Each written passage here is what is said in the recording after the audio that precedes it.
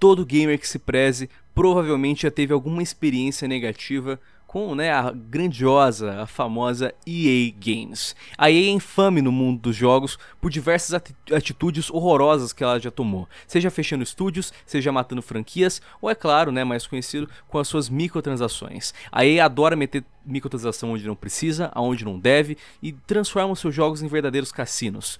Todo mundo conhece a história do FIFA, não é mesmo? Para você poder ter uma equipe online no FIFA, você tem que ficar rodando loot boxes. É basicamente gastar um, uma ficha num cassino e esperar que venha algum jogador decente para para sua equipe. Isso também está se aplicando agora em Need for Speed, que também teve essas loterias. A gente vê isso no Battlefield. Basicamente, todas as franquias da EA estão tendo isso. Mas cara, Agora a gente vê oficialmente que não é só uma questão de moral, uma questão de decência, de implementar ou não implementar isso no jogo. Isso daqui é claramente um vício, é um jogo de azar. Porque, senhoras e senhores, é oficial. A EA conseguiu fazer com que uma família inteira entrasse em falência, cara.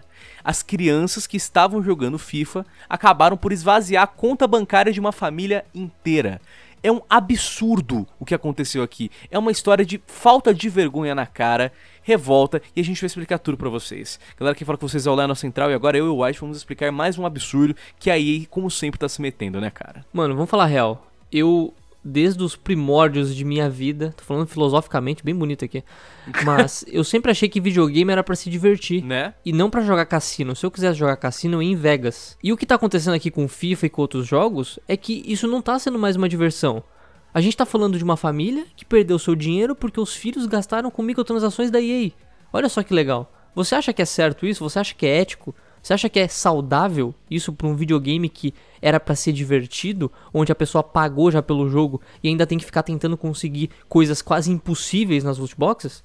Você acha mesmo que é certo isso? E olha, antes que você vá nos comentários tentar falar, não, mas a criança não devia estar tá tendo acesso ao dinheiro, não, às vezes daqui, espera, termina de assistir o vídeo inteiro, vamos trazer todas as perspectivas e aí no final eu quero saber a sua opinião. Mas primeiro você assiste tudo, beleza? Also, por favor, dê uma olhada no nosso vídeo. A EA Games está manipulando você. A gente vai estar disponibilizando no card. E, cara, esse é um dos vídeos mais importantes da sua vida. Nesse vídeo. Um dos mais importantes do canal também. Cara, nesse vídeo a gente mostra pra vocês um Exposed, que é basicamente uma patente da EA, cara, de como eles fazem, tipo, dentro dos jogos, uma maneira que, tipo, ah, você tem dinheiro? Se sim e ver que você é preguiçoso, eles vão lá e vão dificultar o jogo para você gastar dinheiro com microtransação.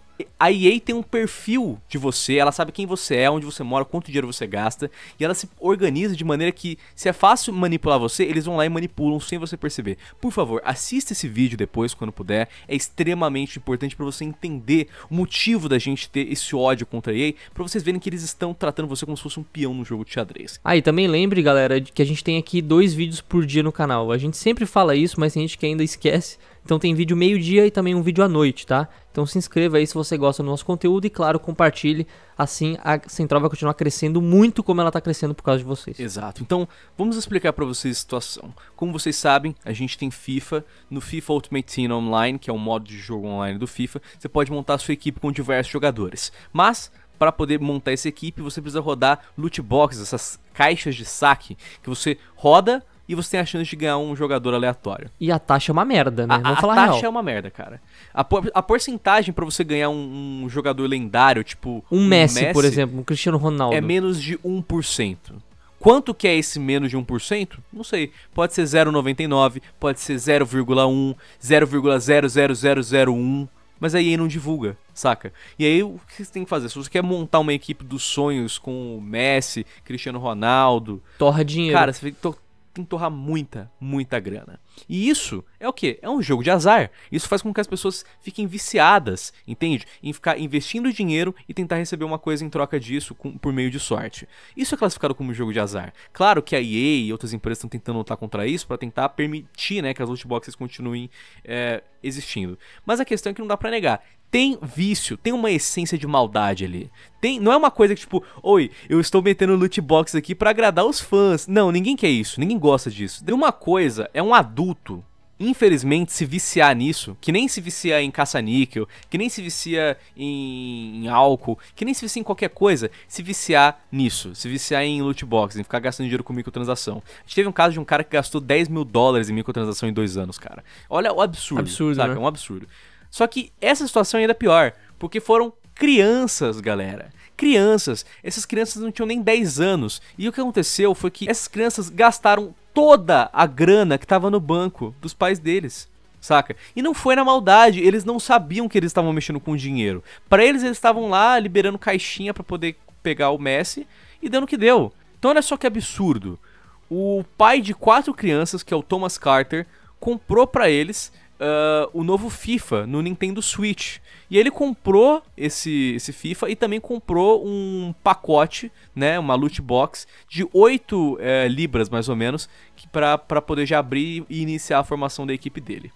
E aí o que aconteceu foi que as crianças viram isso, viram que tipo dava para comprar. Ele, o, o, o grande erro do Carter foi ele comprou esse, essa loot box na frente dos filhos. E eles viram, e eles né? viram, cara. E eles viram aquilo e pensaram, ah, então é assim que, com, que pega a caixinha. É assim que joga. É assim que pega o, o card de coleção. Porque parece card de colecionáveis, né? Da, daquelas revistinhas. Sim. Então, ah, é assim que pega. Então, o pai saiu, ele não tinha conhecimento dessa questão de, de dinheiro, que os filhos podiam fazer essas compras, e ele não tinha conhecimento da questão também do Nintendo Switch de controle de pais. Então ele saiu e deixou as crianças se divertindo. Até porque FIFA tem uma faixa etária de 3 anos de idade. Ou seja, Três anos. Três. e, e três anos e tem essas mecânicas de você ficar gastando dinheiro. Então, o pai não imaginava que tava rolando essa porra toda. O pai não tinha como saber que ia ter todo esse acesso. E aí ele saiu, cara, e descobriu depois que as crianças acabaram torrando mais de 550 libras. Toda a grana da família foi em FIFA, cara. Eles compraram um monte de, de pacotes do FIFA Ultimate Team.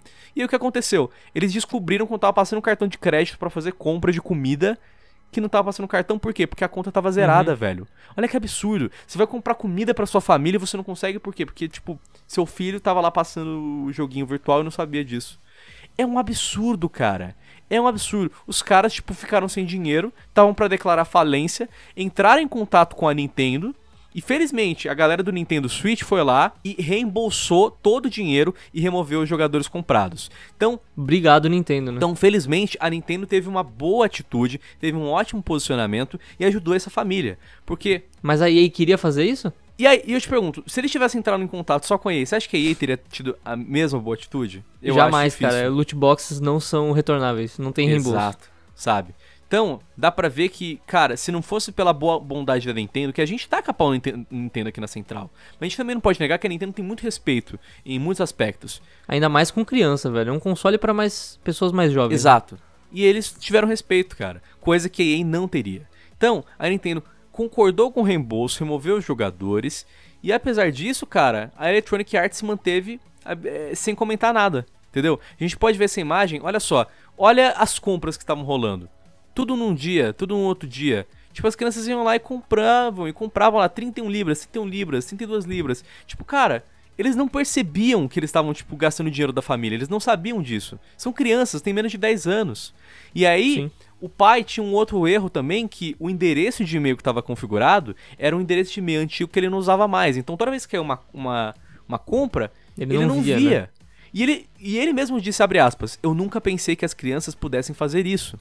Então, cara, não é uma situação de um cara, um marmanjo, que tem dinheiro, sabe o que tá fazendo e tá viciado. Não, são crianças. Essa buceta dessa mecânica nojenta que esses caras estão metendo nos jogos tá afetando crianças, tá viciando crianças. As crianças não têm a, a, a questão de perceber essa malícia dos jogos, de perceber essa safadeza. Pra eles é um joguinho. Eles acham que é normal você chegar, por exemplo, e gastar 200, 300 conto numa loot box, em várias loot boxes pra conseguir o jogador. Sendo que não é. Acham que é normal. não é. Mas não é normal, velho. Não é. É um absurdo, cara. É muito desleal, velho. É, é, é muito foda isso. Tipo, beleza, o console tem lá o, o negócio pra bloquear compras? Tem. Mas vamos falar real.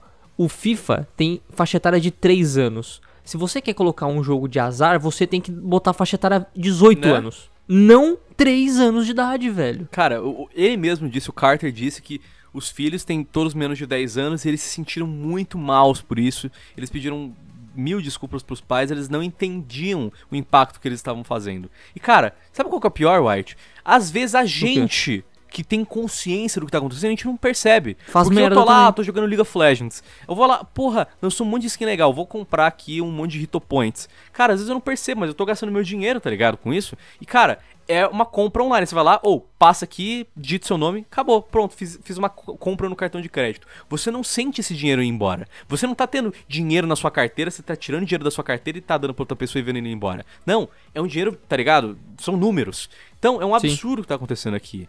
E aí, e aí olha só, ele falou. Isso daqui é um absurdo. Ele falou o mais importante, que é, abre aspas. Você paga 40 libras pelo jogo, que por si só já é muito caro, e a única maneira de se obter um bom time é pagando ainda mais.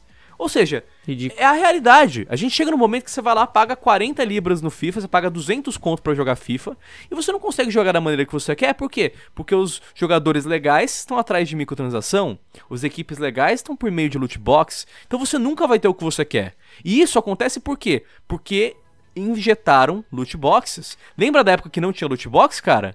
Os jogos estavam completaço. Eu jogava lá PES com os meus amigos, tava de boa. Jogava FIFA com os meus amigos no PlayStation 2, sem problemas. Hoje em dia, a- olha só, abre aspas, o pai disse, abre aspas. Eles gastaram 550 libras e não receberam o jogador favorito deles, que era o que eles queriam, que era o Lionel Messi. Ou seja, gastou toda a grana da família. 550 libras, dá o quê? Mais de 4 mil reais pra cima Sim. gastaram mais de 4 mil reais e não pegaram a porra do Lionel Messi. Isso é safadeza, velho. É uma porra de um boneco 3D num jogo de futebol e os caras não conseguem pegar. A criança não consegue jogar com isso, velho. É uma safadeza. Isso é filha da putagem. Esses caras da EA tem que se foder muito. E tomara que percam outros bilhões Recentemente aí, a gente trouxe uma notícia falando que você fez a EA perder bilhões, porque as ações da bolsa deles estão caindo que nem, ó, que nem uma cacho- cachoeira, velho. E tem que se fuder ainda mais. Depois assiste pra você ver os dados. É uma delícia, cara. Isso tem que continuar acontecendo porque olha a safadeza que eles fazem com a gente. E aí, é, além deles não se pronunciarem, se você for lá no site da EA, se você for no site do jogo, tem lá controle de compras nos jogos. Tem, tipo, sabe aquela, aquela diretriz, aquele manualzinho, tipo, ah, Sim. como configurar as compras, como evitar que seus filhos tenham gasto, sabe essa coisa? Se você for lá no site, você vai ver que não tem pra Nintendo Switch. Só tem pra Xbox e PlayStation. Ou seja, a porra da EA, a dona do jogo, não dá instrução básica de dinheiro no porra do site deles. É uma safadeza. É uma safadeza, velho. Então, a gente não tá falando só de uma empresa que tá fazendo uma safadeza com o FIFA. A gente tá falando da EA Games, os responsáveis pelas mecânicas de surpresa. Você se lembra dessa? A pior empresa dos Estados Unidos por dois anos consecutivos. Mano, a vice-presidente da EA foi no parlamento britânico e falou que não são loot boxes, são mecânicas de surpresa. São como Kinder Ovos. Elas são bem éticas e bem divertidas. As loot boxes são uma nova fronteira de diversão. Mano, é uma safa... Olha isso! Olha isso, a gente tá tendo jogo de azar online pra criança de 3 anos. O pior é isso, mano. É um cassino legalizado pra menor. É o que eu fico mais puto. Seus nojentos, vocês estão ganhando dinheiro em cima de criança, velho. Vocês são os putos. Vocês são os nojentos. E é tudo legalizado. Por isso que tem que meter no Senado americano. Por isso que tem que regulamentar esta caralha. Porque esses caras estão ganhando dinheiro em cima de criança, gerando vício em um monte de, adolescente. Tudo isso pra ganhar dinheiro. Os caras já ganham bilhão vendendo o FIFA a 200 reais. E eles ainda ganham dinheiro com loot box. E vai me falar que é mecânica ética divertida. É a cabeça do meu pau. Vocês são um bando de salafrários, mano. Eles têm que se fuder. Tem mais é que. Mano. Eu concordo com você, White. Você sempre fala que o governo não tem que se meter em jogos, e eu concordo com você, cara. Mas nessa situação de loot box, passou do limite, cara. Passou. Não tem, não tem. Não, é o- velho oeste. A gente não tem lei. Tem que entrar, sim, o Senado, tem que entrar, sim, os políticos e meter uma diretriz nessa porra pra proibir essa caralha. Porque esses caras tão livres. Eles estão sambando na nossa cara, tão fudendo com a gente e eles não são punidos, velho. Quando o governo regulamenta alguma coisa e bota o dedinho dele, sempre é ruim. Mas, nesse caso aqui, seria algo para abolir as loot boxes. Mano, está abolindo a pior coisa da indústria atualmente dos games, que é essa porra dessas microtransações, velho. E eu não vejo como isso sendo uma coisa ruim. Eu vejo isso como sendo uma coisa boa no momento. Porque a gente não tá conseguindo, a gente, sozinhos. Tudo bem, a gente tá metendo no bolso deles um, um pouco de prejuízo? Sim. A gente tá boicotando vários jogos? Sim. Mas não tá sendo suficiente, cara. Parece que cada vez que a gente derruba eles um pouco, eles voltam com o triplo de microtransação. Sim. Então, assim, o governo tem que bloquear essas porra. Não tem que ter mais loot box. Se eles banirem isso dos jogos, ou que seja só para jogos mais 18, já vai ser um grande Sim. avanço. Vai ser um grande avanço, galera. Pensa, Free Fire, Free Fire aí, jogo de celularzinho, a galera jogando em peso aqui no Brasil, um monte de loot box, velho. Você acha que é certo isso? Jogo para criança? Mano, é ridículo, pelo amor de Deus. Isso tem que ser banido. 600 reais por uma skin, velho. É todo dia um absurdo. Eu, eu tenho saudade, eu, eu, eu, quero, eu quero que mais jogos sejam como, por exemplo, o Crash, que lançou esse ano, sem nenhum tipo de microtransação. Parabéns pra Activision que conseguiu fazer isso. Não sei o que aconteceu com eles, mas eles fizeram. Então eu quero mais jogos assim, velho. Eu tô cansado de ver jogo incompleto lá. Mano, eu compro o jogo, daqui 3 meses o jogo já tem 300 DLCs que estavam planejadas desde o lançamento. Tô cansado, mano. Eu não quero ficar pagando 400, 500 conto num jogo para ter a versão Ultimate, para ter todas as DLCs, sendo que o jogo podia ser vendido por 200 conto full.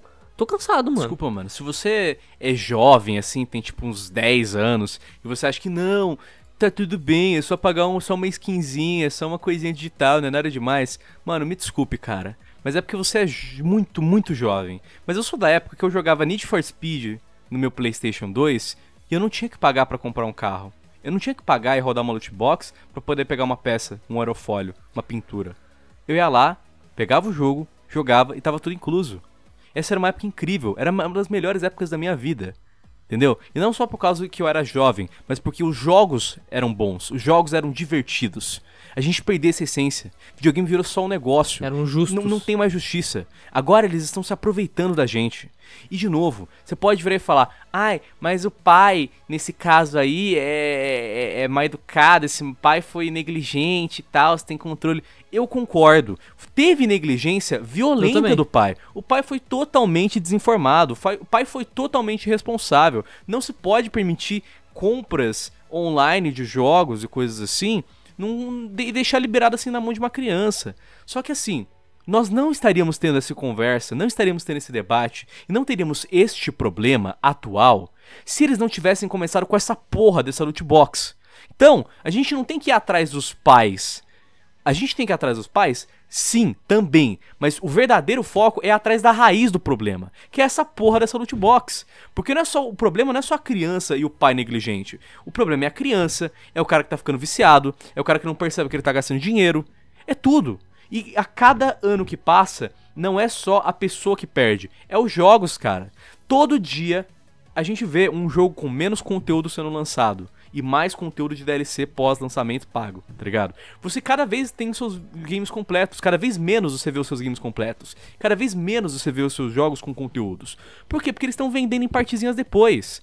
Então, é uma safadeza, cara. A gente tem que lutar contra isso. Você, assim como eu, é consumidor, cara. Então, para de defender essas coisas. Mude a sua mentalidade, acorda. Esses executivos estão cagando pra você, cara. Eles estão se cagando pra você, eles só querem saber de ganhar dinheiro. E na boa, eles ganham muito dinheiro. Eles ganham dinheiro só de vender o jogo padrão por 200 reais. Eles não precisam de loot box. Eles não precisam de microtransação. Isso é ganância. Isso é safadeza. Isso é imoral. E isso é meter no teu cu. Se a gente não fazer alguma coisa, o mundo não vai pra frente. Se a gente não tomar uma atitude, as coisas continuam do jeito que tá. E eu não quero viver num mundo dessa maneira. Eu quero mudar o mundo. E se você tá comigo, então bora mudar essa porra.